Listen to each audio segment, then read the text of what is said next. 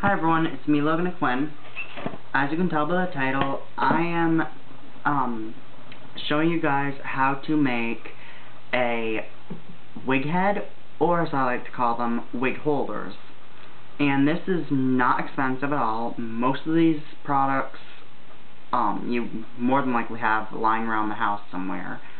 So yeah, um, I'm going to show you a wig holder which I have made for the only wig that I have, and it's right here.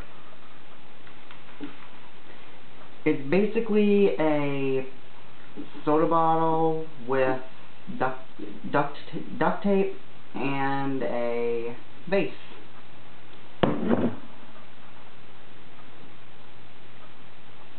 It looks very cheap, but it serves its purpose.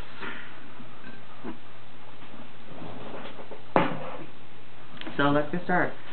Like I said, things you're going to need are a vase, a 2 liter bottle, um, this one's a soda bottle, obviously, and duct tape. So let's get started. Take your vase, you put it down on the table like you would any kind of vase. And then you put, you take your um, bottle and you place it upside down and put it, put it in there. Then you take duct tape.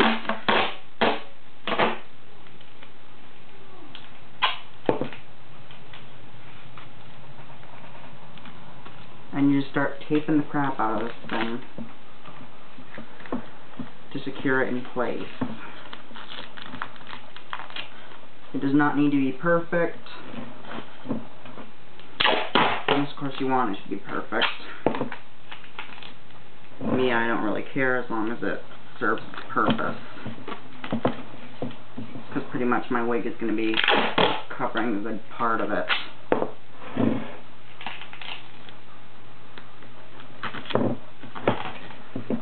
So, there we are. And that is it. Um, you could spray paint this probably. I did not spray paint mine because I really don't really care to paint, to um, spray paint it, I don't really care.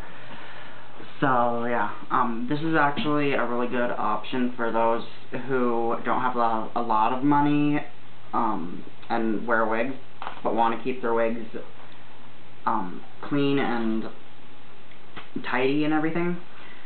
This is also good for those who have a lot of wigs, and like to keep them on, like, wig holders, or like wig heads.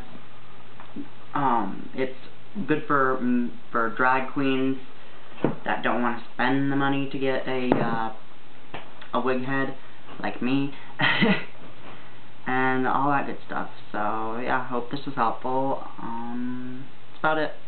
Leave comments feedback and all that stuff down below in the comment section. And comment subscribe whatever. Until next time